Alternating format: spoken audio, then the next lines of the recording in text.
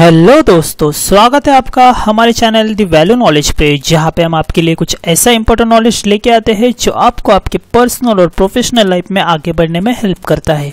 तो दोस्तों, आज हम बात करने वाले हैं बहुत ही इंटरेस्टिंग टॉपिक के ऊपर और वो है ऊट जो है अपने शरीर में पानी कहाँ पे स्टोर करता है? तो बहुत सारे लोगों को इस, इसको लेके बहुत सारी गलत फहमियाँ हैं, वो आज हम आपको एकदम सिंपल लैंग्वेज में एक्सप्लेन करेंगे। तो दोस्तों, आपको ये जान के एकदम हैरानी होगी कि कैमल यानी ऊट जो होता है, वो सात महीने तक बिना पानी के रहता है। जी हाँ दोस्तों, सात महीने यानी ऑलमोस्ट 200 से भी ज़्यादा दिन।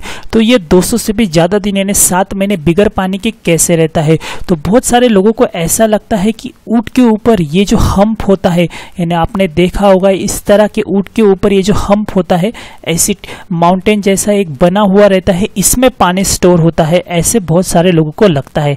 लेकिन सच्चाई ये नहीं है। ऊट के ऊपर ये जो हम्प होता है, उसमें वो फैट स्टोर करता है और जब भी उसको खाने की कमी होती है, वो यहाँ से फैट लेता है और वो बिना किसी भी खाने के ज़िंदा रहता है। अब बात करते हैं कि ऊट जो है, वो इतना सात महीने बिगर पानी का कैसे रह सकता है? तो तो इसकी शरीर की बनावट कुछ इस तरह से होती है कि जब भी वो पानी पीता है तो वो सारा पानी जो है उसके ब्लड स्ट्रीम में चला जाता है, यानी उसके खून में चला जाता है। और ये जो पानी है वो पूरे, यानी उसको सात महीने तक ज़िंदा रहने को मदद करता है।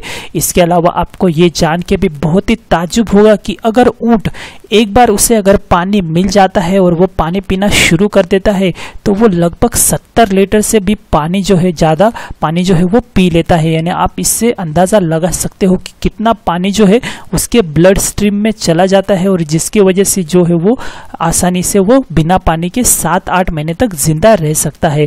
इसके अलावा उसकी शरीर की बनावट कुछ इस तरह से होती है कि उसको पसीना भी कम आता है। उसकी वजह से भी उसको पानी की ज़रूरत जो है वो कम होती है और उसके बॉडी का टेम्परेचर जो है वो रात को एकदम कम हो जाता है और इसके वजह से भी उसको कोई भी डिहाइड्रेशन की प्रॉब्लम नहीं होती है और इसके वजह से ऊट जो है वो इतने लंबे टाइम तक बिना पानी के ज़िंदा रहता है और वो जो उसके ब्लड स्ट्रीम में, यानी जो खून में जो पानी उसने स्टोर किया है, वो जो है उसे हेल्प करता है इतने लंबे टाइम तक बिना पानी के ज़िंदा रहने को। तो दोस्तों, अभी आपको अच्छे से पता चल गया होगा कि आप अभी ये जो ऊँट है, ये बिना पानी के इतने दिन कैसे ज़िंदा रहता है? क्या उसके हम्प में पानी स्टोर होता है? तो बिल्कुल भी नहीं दोस्तों। तो पानी स्टोर होता है उसके ब्लड स्ट्रीम में। तो ये सारी इन्फॉर्मेशन आप अच्छे से याद करके रखो। ये सारे फैक्ट्स एंड फिगर्स जो है, आपको कोई भी एग्ज़ाम या इंटरव्यू में पूछे जा सकते हैं। इसके अलावा हमारे चैनल पर हमने आपके साथ बहुत सारा ऐसा वैल्यूबल नॉलेज शेयर किया है। आप हमारे प्लेलिस्ट में जाकर टेक्नोलॉजी से लेकर हेल्थ तक और जीके से लेकर करंट अफेयर्स तक बहुत सारी जानकारी देख सकते हो। और हमारा प्लेलिस्ट एक पूरा ज्ञान का भंडार है। आप ये एक बार ज़रूर चेक कर लेना क्योंकि यहाँ पे आपको बहुत सारी यूजफुल इन्फॉर्मेशन मिल जाएगी। तो हमारे वीडियोस रेगुलरली देखते रहो, हमारे वीडियोस को लाइक करो, हमारे चैनल को सब्सक्राइब करो, जिससे आपको ऐसी वैल्यूबल इन्फॉर्मेशन घर बैठे मिलती रहेगी और वो भी एक ही चैनल से। तो ये वीडियो में बस इतना ही था।